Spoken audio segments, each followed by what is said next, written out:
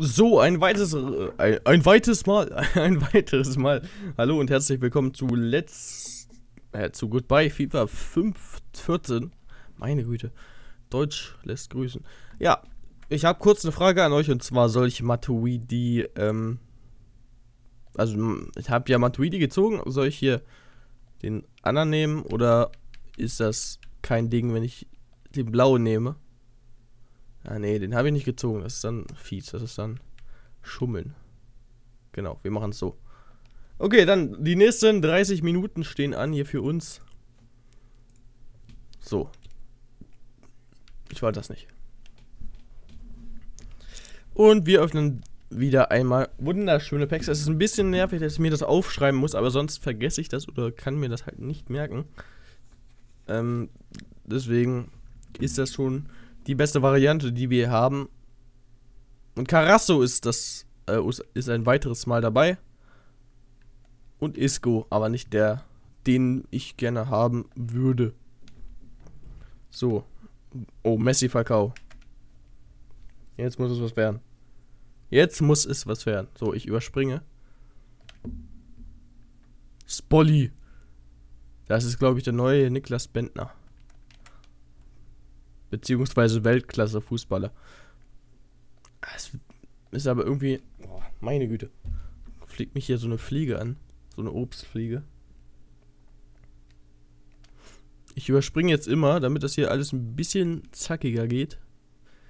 Und damit ich ein bisschen mehr Packs öffnen kann in der Zeit und ich darf nicht so oft auf die Uhr starren, sonst, ja, keine Ahnung, sonst dauert das ewig. Kennt ihr das, wenn ihr auf die Uhr guckt und es einfach deswegen immer, immer länger. Schon wieder Clint Dempsey, das ist unfassbar.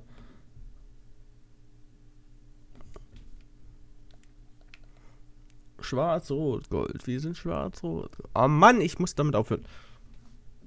Ja, meinem Hund geht's gut, hab eben nachgeguckt. Duplikat und zwar. Ah, jetzt wäre was Geiles gewesen, geil. Jetzt wäre was Geiles gewesen, geil. Jetzt wäre was Geiles geil gewesen. Oh, Messi Verkauf, schon wieder. Jetzt muss es wieder einmal was werden. Jetzt muss ich was Geiles ziehen eigentlich. Und das ist wieder nur Kacke. Die mit Kacke auf den Kackweg gekackt wurde. In Kackhausen. Naja. Oh, kurze Pause.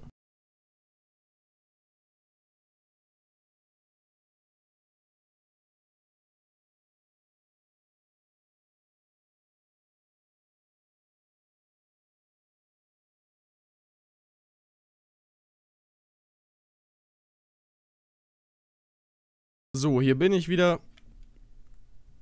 Eben ist bei mir wieder reingekommen, deswegen muss ich diese Aufnahme hier unter zu dem Brechen. Ist nichts Gutes drin gewesen hier leider. Und machen wir weiter. Das ist natürlich nervig sowas, wenn man aufnimmt und wer reinkommt. Das hasse ich überall. Und jetzt habe ich die Uhr vor allem nicht mal richtig im Blick, weil mein Audacity vom neuen so richtig vom neuen startet. Ach, ist der Buch. Auch nicht gut. Aber jetzt habe ich gar nicht übersprungen. Naja, ich gucke einfach auf, mein, auf meine Uhr. Auf meine Uhr hier. Dann weiß ich ungefähr, wie lange noch. Ich glaube, ich habe so 22 Uhr 4 angefangen, würde ich mal sagen. Jetzt habe ich 5 Minuten schon. Ja, mal gucken, wie das hier so laufen mag. So, ich habe eine WhatsApp-Nachricht. Ich gucke mir die mal ganz kurz an. Virinja. Und freischalten.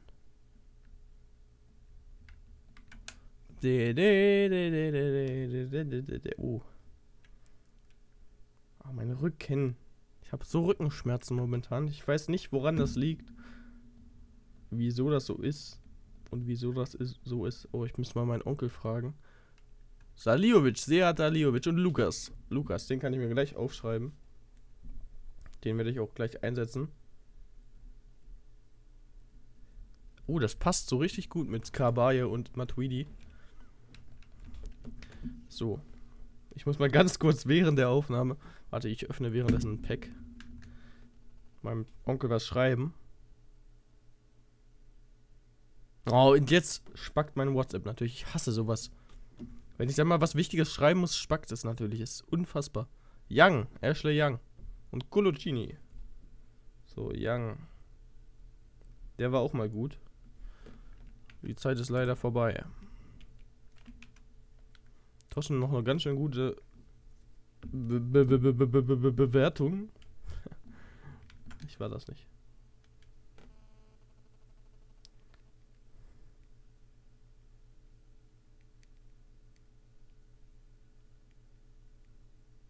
Molumpu.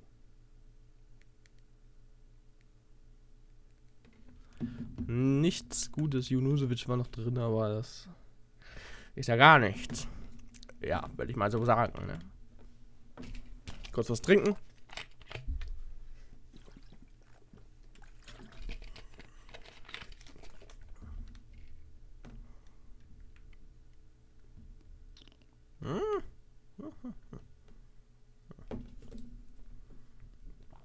Sakko. Weil er sagt, ho. Ja, okay, der war sehr schlecht. Arturo Vidal. So, komm, überspringen. Waran. Also an Innenverteidigern mangelt es uns nicht. Ilano! Da war Ilano. Scheiße, ich habe den verkauft eben. Ich weiß gerade nicht, warum ich mich so freue. Ich hatte den irgendwann mal in irgendeinem FIFA, FIFA 12 oder so, hatte ich den auf jeden Fall mal. Ich weiß, ich glaube bei Bayern. Oh, Hövedes auch noch. Ich glaube, Hövedes hat eine bessere Bewertung als Sobotic, oder nicht? Ganz kurz mal gucken. Weil dann werde ich den auf jeden Fall verwenden. Nee, doch nicht. Hat er nicht. Hat er nicht. Weiß immer noch nicht, welcher dieser Spieler das da ist. Welcher, welcher dieser Spieler, welcher Spieler das da ist. Cassano, fast schon eine Legende, würde ich mal behaupten, aber langsam und scheiße. nicht gegen ihn. Aber das ist die Wahrheit. Ja, das muss man schon sich ein bisschen merken. So, Messi. Oh Mann, einmal so ein Messi ziehen oder so. Ich hatte noch nie das Glück. Naja, dafür Chiellini und Ramos Team of the Season, das ist natürlich auch was. So, weg hier. Scheißding. Friedel. Mann. Ist so eine Fliege, die mich nervt. Aber ich will sie nicht töten. Sie hat mir nichts getan. Außer mich nerven. Ähm, ich kann euch auch noch mal was über mich erzählen. Und zwar, vielleicht wissen das viele gar nicht, ich bin übelst tierlieb. Und ich glaube sogar schon fast ein bisschen zu viel. Jetzt nichts, ähm, nicht so im Sinne, dass ich Tiere gerne ne, vernaschen würde. Aber, oh Gott. Ähm, aber, weiß ich nicht. Ich kann selbst kleinen Tieren nichts zuleide. Zum Beispiel, ja, Fliegen oder sowas. Ich finde das scheiße, wenn die getötet werden. Warum werdet, werdet ihr euch fragen? Es sind nur kleine Scheißviecher. Aber ich denke mir nur so, oh, Berami, warum kriege ich die Napoli-Version? Der ist zu, zu Hamburg gewechselt. Größter Fehler seines Lebens. lustig, das ist so lustig. Wie lustig das bei der Tonspur aussah, meine Güte. Auf jeden Fall, ja. Wenn Fliegen getötet werden oder ähnliches, dann denke ich mir so, hör auf! Das hat er nicht getan. Weißt du, okay, sie nerven einen, das kann ich natürlich nachvollziehen. Ich versuche übrigens fast jedes Mal, wenn ich eine Fliege sehe oder so und die mich nervt, die rauszubringen. Manchmal schlage ich auch nach, aber ich töte sie halt nie. Ähm, wir sagen dies. Aber halt, wenn die euch nervt, überlegt doch mal, es klingt jetzt relativ creepy und so, was ich hier alles erzähle, als wäre ich übelst der. Alter, keine Tiere töten, Mann, Alter. Yeah, peace. Aber so, guck mal. Wenn dein Bruder dich nervt, tötest du ihn dann? Nein. Weiß ich nicht. Ist vielleicht komisch Denkweise, aber ist bei mir so. ist bei mir halt so. Weiß ich nicht. Ja. Das finde ich scheiße. Kabul. Aus Kabul. Gibt es eine Stadt, die Kabul heißt? Ich weiß es nicht, glaube nicht. Also bestimmt irgendwo, irgendein Kackdorf bestimmt, aber jetzt nichts Bekanntes. So, überspringen wir und es ist wieder nichts. So langsam, aber sicher wird es hier ein bisschen rar. Wie die Yu-Gi-Oh! Karte.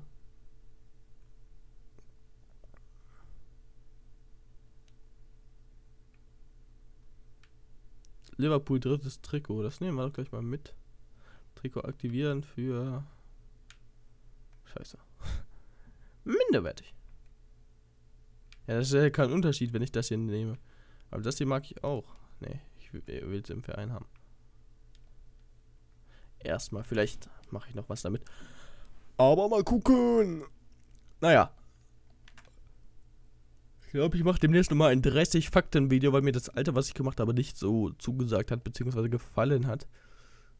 Ja, ich kann eher mal ein bisschen über meine YouTube-Karriere Karriere reden, habe ich mir gerade so gedacht. Und zwar, warte, ich gucke guck nochmal live nach. Oh, Messi Falcao, das wird wieder der Renner. So, ich gehe mal auf meinen alten Kanal und zwar will ich mein allererstes Video gucken, wann genau das rausgekommen ist. Ich kann es ja auch mal ganz ein bisschen laufen lassen. Na, das nicht. Nein, das ist mir peinlich. Vor zwei Jahren. Und zwar am 8.2.2012 habe ich mein erstes Video auf YouTube hochgeladen. FIFA 13 Ideen. Mann, dieses Scheißvieh. Vor allem, ich habe in die Beschreibung heute unsere FIFA 13 Idee mit einem neuen Mikrofon. Dann hat wer drunter geschrieben, kauft ihr ein neues Mikrofon, weil ich total leise war und sowas und das nicht gepeilt habe. Aber naja, so, warte, ich mach mal, lass kurz laufen. Willkommen zu Let's. Okay. Das. Na, wo ist mein erstes Video alleine? Das ist halt die Frage. Ich weiß gar nicht, was ich denn alleine gemacht habe. Das hier habe ich alleine gemacht. Duisburg versus Catania. So, wartet mal ganz kurz. Es tut mir echt leid, dass es gerade so ein bisschen dumm ist. So. Dritten Versuch, ein Let's Play zu starten. So, ich, ich lass das kurz laufen. Ich habe mich jetzt für Duisburg entschieden. Ich spiele auf Weltklasse jetzt und äh, mach mal das. ich weiß nicht, wie das Duisburg-Stadion heißt, sonst würde ich das jetzt umbenennen. Ja, ist mir egal. Herr Hansa. Bleiben wir einfach mal Herr Hansa, weil ich weiß, wie der Trainer von Duisburg heißt. Tut mir leid an alle Duisburg-Fans. Oh Gott, das ist mir im Nachhinein eigentlich so peinlich. Schlimm. Ähm, ja. Ich habe jetzt neu angefangen, weil ich es scheiße fand, mit Bayern weiterzumachen, weil ich meine Aufnahmen selbst nicht so gut fand. Ich beschreibe das am besten mal.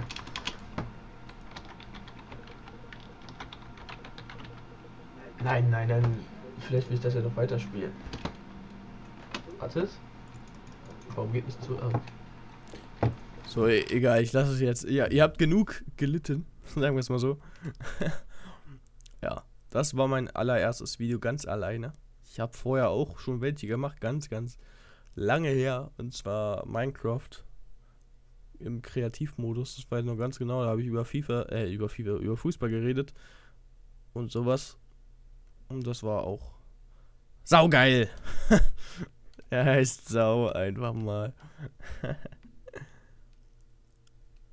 naja, das war wirklich. Also, diese Tonqualität ist einfach unfassbar. Da schwelge ich in Erinnerungen, als ich damals in diesem Tonstudio aufgenommen habe. Julio Cesar. Das finde ich natürlich sehr geil. Super geil. Julio Cesar. Und den nehme ich dann auch im Tor. Und Marco Marin ist da hinten. Wurde anscheinend nicht verliehen, oder? Doch, der wurde verliehen. Meine ich dich. Ich meine, der spielt jetzt bei Lazio. Bei La zu dem Zio, zu dem Rom. Äh.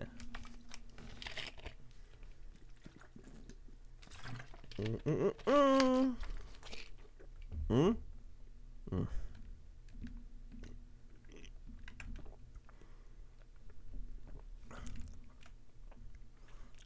Messi, Robin, Ribery. Das wären mal Spieler, die ich gerne haben würde. Was ist das denn? Alles Alessandrini. Ich bin so müde heute. Ich weiß nicht, woran das liegt. Auf jeden Fall halt. Vor zwei Jahren habe ich meine YouTube-Karriere, wie gesagt, gestartet. Am 2.8., äh, am 8.2. Ganz offiziell. Ja, dann. Und zwar diese YouTube-Karriere habe ich mit einem damaligen Freund zusammen gestartet. Die. Oh, ich sag Karriere. Ich meine, YouTube halt insgesamt, ich dachte, habe irgendwie dauernd an FIFA-Karriere gedacht. Äh, ja, die YouTube-Karriere habe ich dann mit ihm begonnen, zu zweit. Wir haben teilweise Videos zu zweit gemacht. Er hat Minecraft gemacht, ich FIFA teilweise. So haben wir das dann aufgesplittet. Ähm, und dann war es dann so, nach also ich erzähle euch mal was Dunkles und zwar haben wir teilweise, Le oh, Messi Falcao, teilweise Leute über Facebook angeschrieben, ob die nicht ab abonnieren wollen und sowas. Das ist mir im Nachhinein extrem peinlich, aber haben wir halt gemacht. Dadurch sind wir irgendwie dann auf die 50 Abonnenten gekommen. Oh, cool. Ashley Cole. We have a 58. Äh, 85 meine ich. Ähm, ja, irgendwie 50 bis 100 Abonnenten gekommen. Dann, ja, also es lief eigentlich alles relativ gut, was mich im Nachhinein erstaunt, weil wir so krasse Videos eigentlich nicht gemacht haben. Auf jeden Fall, dann ist der dritte dazu gekommen und zwar Sören. Ähm, jetzt habe ich Namen gesagt. Egal, ist ja kein Problem eigentlich. Der andere hieß Lennart. Lennart. Ähm, ja, und dann haben wir halt dazu dritt unser Unwesen getrieben und es lief, pff, meine Güte, immer besser. Auf einmal hatten wir 400 Abonnenten oder sowas. Aber es hat mich halt durchgehend angepisst, dass ich irgendwie so ein bisschen eine kleine Hure auf dem Kanal war. Und dann hatte ich halt das Problem, dass ich keine Videos über 15 Minuten hochladen konnte, weil ich irgendwie das EA-Logo eingeblendet hatte, ohne das zu dürfen halt. Oder es war halt zu sehen, wenn ich FIFA Let's Played habe. Währenddessen lief meine geile Karriere mit Bremen. Und dann musste ich mir halt, also ich hatte schon vorher ein bisschen drüber nachgedacht, einen eigenen Kanal zu machen. Und das habe ich dann auch verwirklicht, weil wie gesagt, mir sind mir waren die Personen langsam, aber sicher nicht mehr sympathisch. Also doch schon. Aber ich hatte halt keinen Kontakt mehr zu denen so richtig, nur über Internet und so. Und da hatte ich dann auch keine Lust mehr drauf. Außerdem hat es mich, wie gesagt, ein bisschen genervt, dass ich dauernd der Typ für alles war, der alles machen musste. Zum Beispiel Server organisieren, auch wenn die die Minecraft-Leute waren und sowas halt. Ach, ganz viele Sachen. Leute fragen wegen Survival Games, was wir organisieren wollten. Das habe ich fast alles alleine gemacht. Und das hat mich dann genervt. Deswegen, ja, hat sich das ganz gut getroffen, dass mein, dass ich keine Videos mehr über 15 Minuten hochladen konnte. Dann habe ich diesen Kanal gemacht und bin viel mehr auf dem Kanal geblieben. Und ja, dann habe ich auf diesem Kanal erstmal FIFA weiter Let's Played, habe langsam aber sicher mit Dingens angefangen mit Commentaries und habe dann auch ein Turnier entdeckt und zwar das Krylux HD Turnier. Das war ein YouTuber, der das Turnier dann halt gestartet hat. Und da habe ich dann mitgemacht, habe hab eingereicht, habe auf die, auf die Ergebnis, auf das Ergebnis gewartet. Und dann war es am irgendeinem Tag soweit. Und dann hat er das Video darüber gemacht, hat in die Beschreibung getan, wer weiter ist und gegen wen und so. Und ja, das Tolle war halt, dass ich dabei war, habe mich übelst gefreut. Ich weiß noch ganz genau, meine Mutter hat in meinem Zimmer gebügelt und ich habe hab die Arme hochgerissen ja, ich bin dabei und hat mich übelst gefreut und hat, war übelst motiviert und so. Und dann kam das erste Battle. Warte mal, vielleicht weiß ich sogar gegen wen. Und ich kann das vielleicht auch sogar ein bisschen kurz anmachen. So, wir schwelgen jetzt mal ein bisschen in Erinnerungen. So, Commentary. Krylux HD Zwischenrunde. So, ich mach's mal kurz an. Hallo und herzlich willkommen zu meiner Zwischenrunde für das CHDC. Ja, ich komme erstmal zum Gameplay und zwar das Gameplay ist mit der MP7 auf Standoff erspielt in einer Herrschaftsrunde. Auf der MP7 hat er das Reflexvisier und seine Punkteserien sind Drone, Forrater und der Blitzschlag. Das Gameplay ist übrigens von Pronub7 erspielt, er hat mir das zur Verfügung gestellt, sehr nett von ihm, danke nochmal hier. Und ja, ihr könnt gerne nochmal bei ihm vorbeischauen. Wenn so, das reicht. Ähm, ja.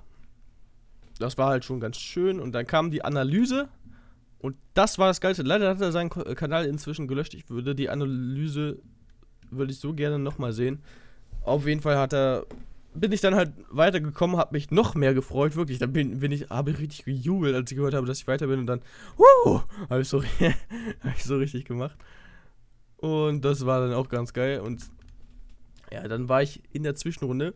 Und zwar, schnallt euch an, wenn irgendwer in der COD-Szene so ein bisschen sein Unwesen treibt, also er ist noch ein bisschen kleiner, aber wurde von einem größeren gepusht.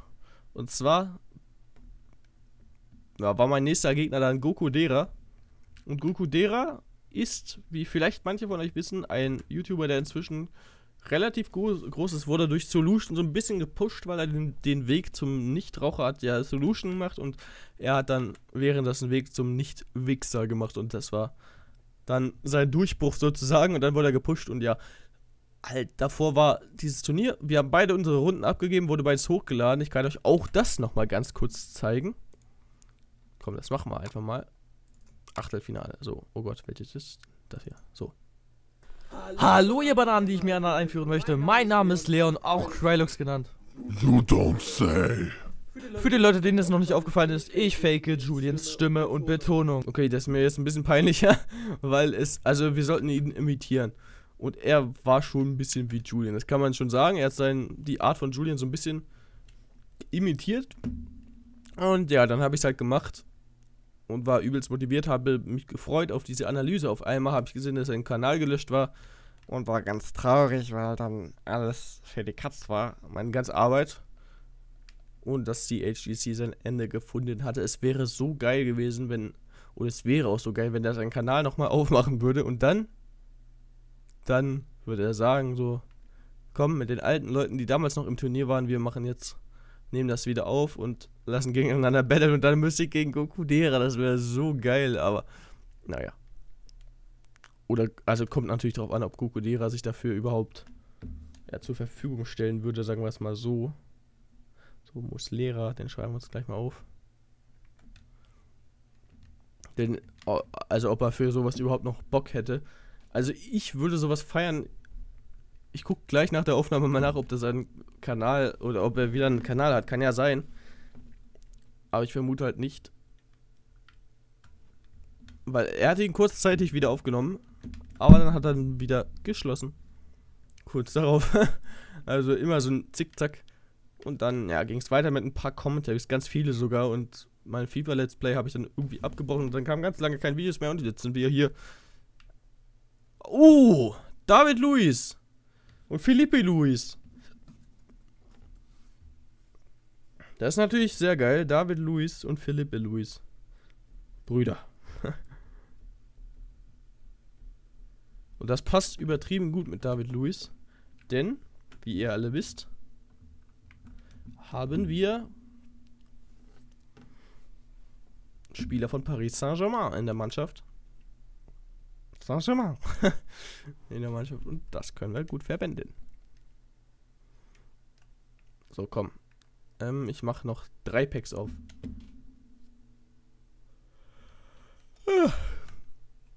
Und dann spiele ich noch ein bisschen FIFA und dann gehe ich pennen. Also, ne, nicht mehr mit euch hier, sondern irgendwie meine Karriere weiter. So, das war jetzt das erste von drei Packs. Kommen jetzt im Schnellformat und dann machen wir noch schnell die Aufstellung weiter. Didier Drogba, jawohl, Alter, die geil, also die Version ist schon geil. Bei Chelsea wieder. Der hat zurückgewechselt, der Hurensohn.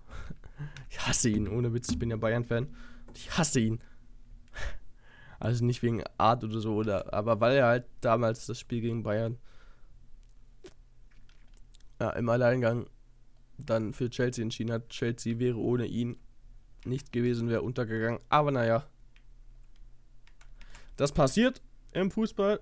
Ein Jahr später hat Bayern sich ja zum Glück die Champions League doch noch geholt. Aber es wäre geiler gewesen im eigenen Land und im eigenen Stadion vor allem. Aber naja, so, jetzt gucken wir mal nach. Im Tor haben wir einen neuen und zwar, wen denn? Wen nehme ich denn davon? Julio Cesar oder Muslera? Ich nehme Julio Cesar. So. Des Weiteren haben wir als LV Cole. Die Version habe ich gezogen, die muss ich dann noch nehmen.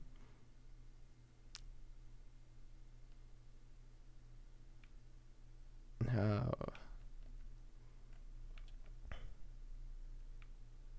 David Luis? Hat der ja nur eine 82.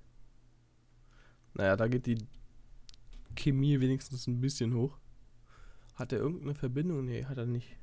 So, weiter geht's. Ashley Young vielleicht.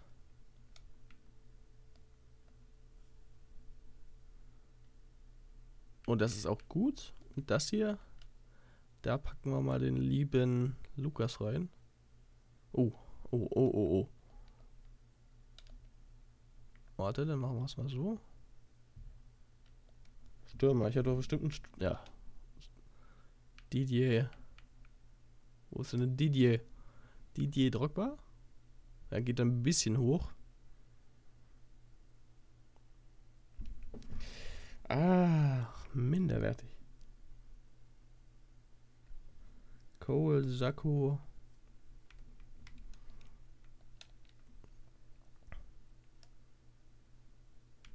Wenn ich hier Sakko inpacken würde, dann würde ich Chemie hochgehen. Naja, auf 77, aber das ist mir egal, das ist mir nicht so wichtig. Ähm, ja, Kabaye. Mist. Kabaye und Liebe. Wäre das. Messi! Gib ihn mir. Ja, das ist Stand jetzt die Mannschaft. Oh, scheiße. Und es wäre viel geiler, wenn ich jetzt das hier machen könnte und zack. Und. Aber das geht leider nicht. Guck mal, gleich Chemie auf 89 würde sie steigen, einfach mal. Aber das kann ich leider nicht bringen. Naja, ein Pack, komm, ein, eins machen wir noch. Aber dann ist das auch das letzte, was ich heute aufnehme. Dann sage ich euch Tschüss gleich nach diesem Pack. Und es ist nur Scheiße drin. Ich hoffe, es hat euch gefallen und ich sage Tschüss und bis zum nächsten Mal. Haut da rein. Bis dann, Mann. Ja. Lebt.